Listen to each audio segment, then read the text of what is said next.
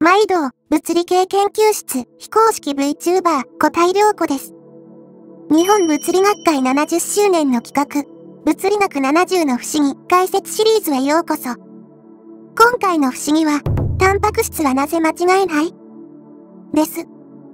皆さんご存知だと思いますが、タンパク質っていうのは、20種類のアミノ酸が鎖状につながってできる高分子のことで、生物の体の中には、たくさんの種類のタンパク質があって、それらが正しく機能することで生命活動が維持されています。一般にタンパク質は複数の階層に分けられる非常に複雑な構造をしてます。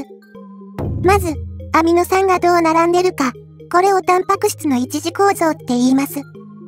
鎖状につながったアミノ酸は、螺旋構造やシート状に折りたたまれます。これが二次構造。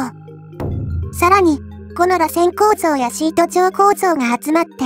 3次構造、4次構造という風に形状を構成します。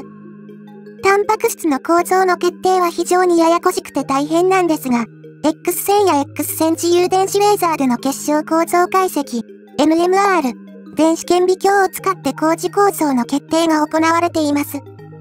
タンパク質の機能は、含まれてるアミノ酸の種類だけじゃなく、工事構造も同じになっておく必要があります。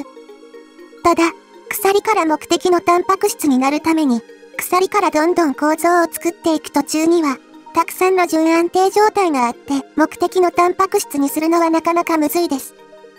実際、試験管では作るのが困難なタンパク質ってのもあります。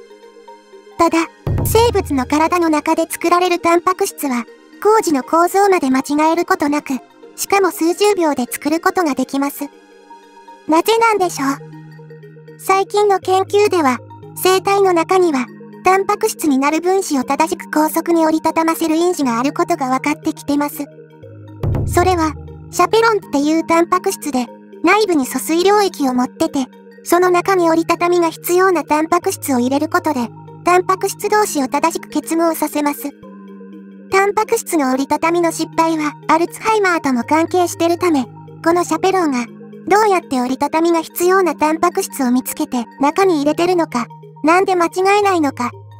多くの研究者が、そのメカニズムの解明に挑戦してます。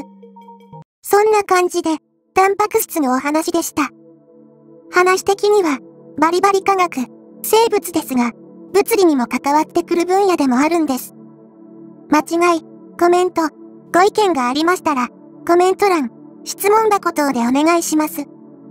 チャンネル登録、高評価、ツイッターフォローよろしく。ほなまた次回。